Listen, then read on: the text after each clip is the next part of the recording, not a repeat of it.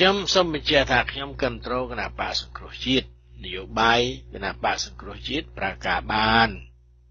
តែវិធីដឹកនាំរបស់មេដឹកនាំសង្គ្រោះជាតិខ្លះធ្វើឲ្យខ្ញុំពិបាកគ្រប់គ្រងបើគ្មានការ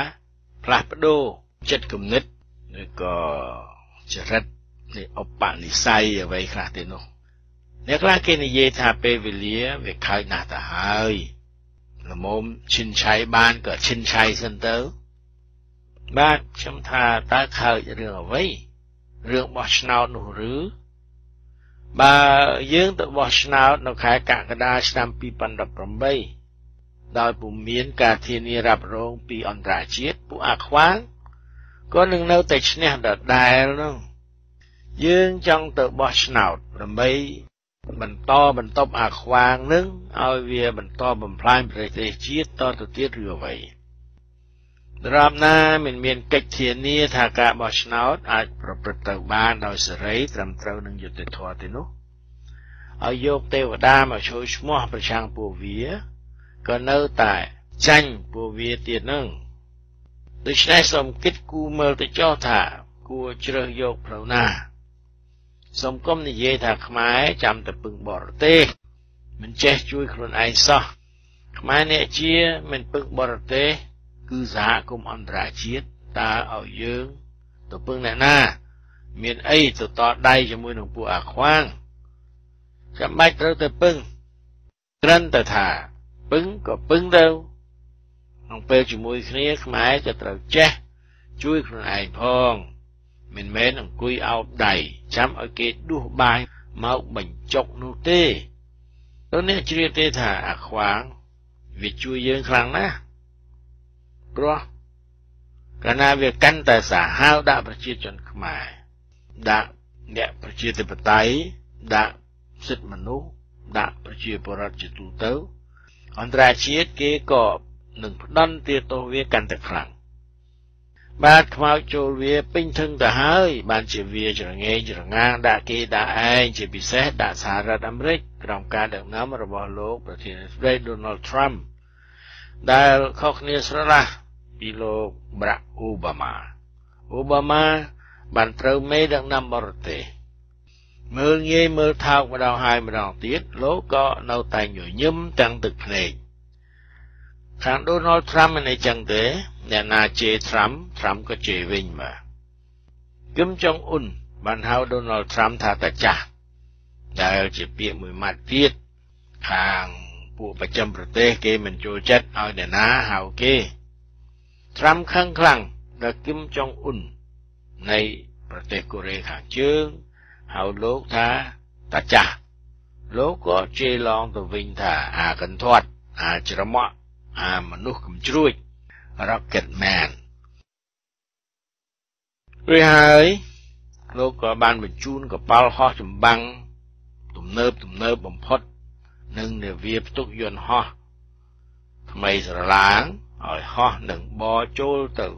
ក្នុងសមុទ្រចិនខាងត្បូងនិងសមុទ្រជប៉ុនបំផ្លាញសាំងនឹងថាវិការបន្តិចទេក្នុងការបញ្ចេញសាច់ដុំដាក់អាកន្ធាត់ កូរ៉េនោះអ្វីបើអស់លុយច្រើនតែត្រាំថានយោបាយកាត់បន្ថយពន្ធដាររបស់លោកដែលបន្ថយពន្ធលើឧស្សាហកម្មពី35%ចុះមកនៅត្រឹម20ឬ21%នោះហើយពន្ធនេះកំពុងតែរងចាំការបោះឆ្នោតអនុម័តពីព្រឹទ្ធសភានៃសភាកុងក្រេការកាត់បន្ថយពន្ធនេះនឹងធ្វើឲ្យ មានចំណូលយ៉ាងច្រើនសន្ធឹកសន្ធាប់ដល់សហរដ្ឋអាមេរិកសេដ្ឋកិច្ចរបស់អាមេរិកនឹងហក់លោតយ៉ាងមិនធ្លាប់មានក្នុងប្រវត្តិសាស្ត្រត្រាំសង្ឃឹមថាលុយរាប់លានលានដុល្លារនឹងហូរចូលមកអាមេរិក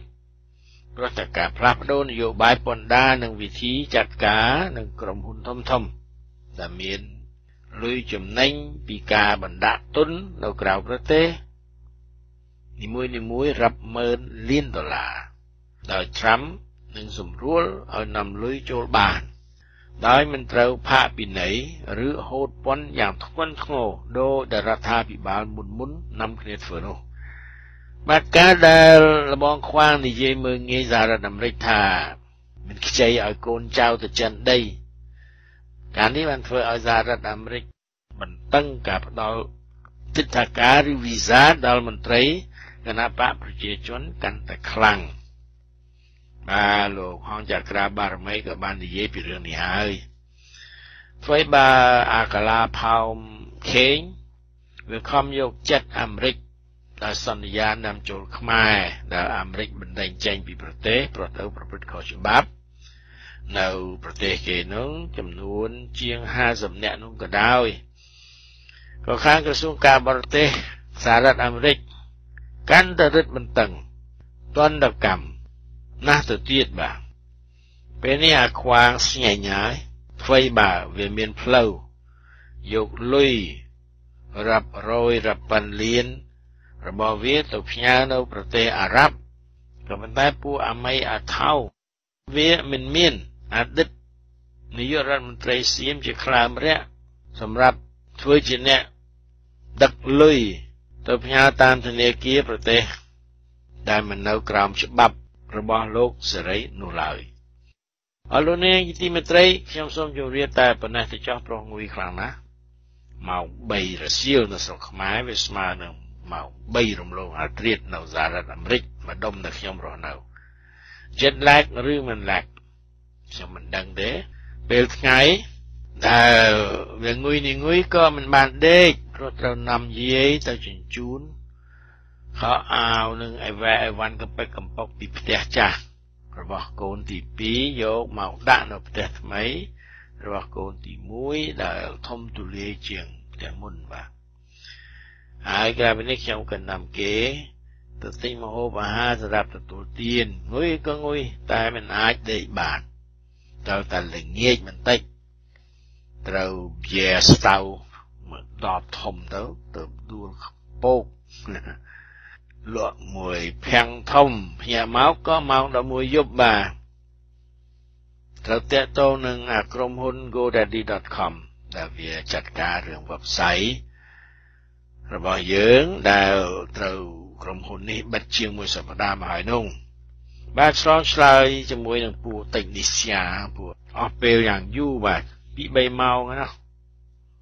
តម្រាំនឹងដឹងថាវាធ្វើអីមិនបានព្រោះវា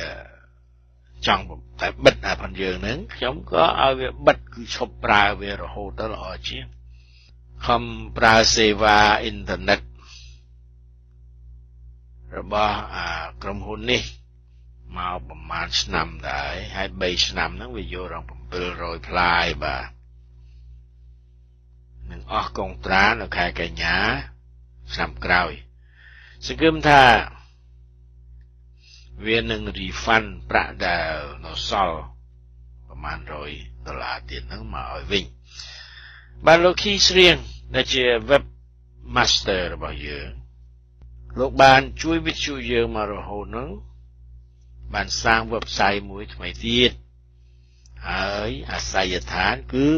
worldkhmerradio.org worldkhmerradio.org ក្រៅពីនេះក៏មាននៅលើទំព័រ Facebook ផងដែរបាទគឺ facebook.com/worldkhmerradioonline តែប៉ុណ្ណេះទៅក៏ចេញទំព័រវិទ្យុមកហើយបាទលោកនាងមានស្ដាប់ជាទីគោរពរាប់អានច្បាប់ធម្មជាតិមានច្រើនយ៉ាងណាដូចជាច្បាប់នៃកម្ម គឺមានកម្មត្រូវតែមានផល កម្មល្អបានផលល្អកម្មអាក្រក់បណ្ដាលឲ្យកើតជាផលអាក្រក់មានអធិប្បាយយ៉ាងខ្វះក្បាយនៅក្នុងព្រះពុទ្ធសាសនានិងសាសនាដទៃទៀតដូចសាសនាចិល Jain ជាដើមបាទច្បាប់ធម្មជាតិសំខាន់មួយទៀតដែលស្ទើរតែទាំងអស់គ្នាដឹងគឺច្បាប់ទី3របស់ Newton ស្ដីពី ទំនាញព្រះធរណីគេហៅថាច្បាប់ផ្លែប៉ោម Newton បានរកឃើញសមការរវាងចលនាហើយនឹងការស្រូបទាញរបស់ផែនដីពេលដែល Newton ទៅដេកនៅក្រោមដើមប៉ោមហើយត្រូវផ្លែប៉ោមជ្រុះមកចំកណ្ដាលក្បាល Newton សង្កេតឃើញថាអ្វីអ្វីដែលនៅខ្ពស់ដូចជាមនុស្សនៅលើដំបូលផ្ទះពេលផ្លិតជើងធ្លាក់មកមិនដែល មិនដែលឡើងលើទេ គឺត្រូវតែធ្លាក់មកដី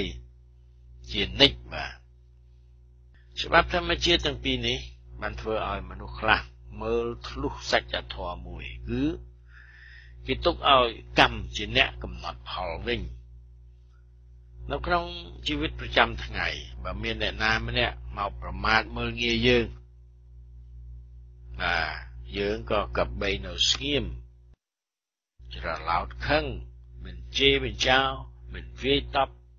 តទៅវិញគឺទុកឲ្យកម្មរបស់អ្នកដែលធ្វើអំពើអាក្រក់គឺប្រមាថមាក់ងាយយើងនោះធ្លាក់ទៅលើខ្លួនអ្នកធ្វើកម្មវិញបាទវិធីមានជីវិតបែបអហិង្សានេះ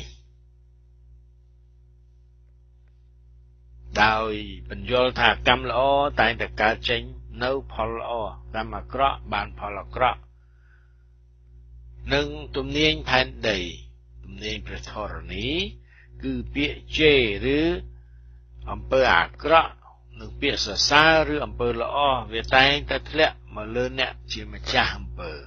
បើវាមិនទៅទៅនៅលើបុគ្គលណាមួយទេនោះមានគេសួរថាចុះសត្រូវវាវាយប្រហារមកលើយើងឬកាន់កាប់ប្រទេសយើង បើយើងមិនតដៃមិនឈឺមិនស្លាប់ទេឬប្រទេសមិនរត់រលាយទេឬអីបាទរឿងបែបនេះវាមានផ្លូវដោះស្រាយរបស់វាផ្សេងផ្សេងគ្នាទៅតែកុំភ្លេចថាពៀមិនដែលរងាប់នៃការចងពៀនោះឡើយបាទស្ងាត់ហូមហូមទៅហើយខ្ញុំសូមអភ័យទោសផងចុះសូមបញ្ចប់ពីនេះពីនោះត្រឹមនេះចាំថ្ងៃក្រោយជួបគ្នាទៀតបាទ តើថ្ងៃនេះខ្ញុំនិយាយឲ្យកើតការបែកបាក់ក្នុងចំណោមខ្មែរនៃជាដែរទេរឿងនេះខ្ញុំក៏មិនដឹងទេដឹងថាគ្មានចេតនាចង់ឲ្យបែកបាក់នោះឡើយចង់ទឿនបាទចង់ទឿនតែបើថាទឿនមិនឡើងក៏ទៅតាមរឿងសូមឲ្យលោកអ្នកនាងមានសេចក្តីសុខខ្សែមខ្សាន្តបាទសុខសន្តិភាពចូលមានដល់អស់លោកអ្នកនាងគ្រប់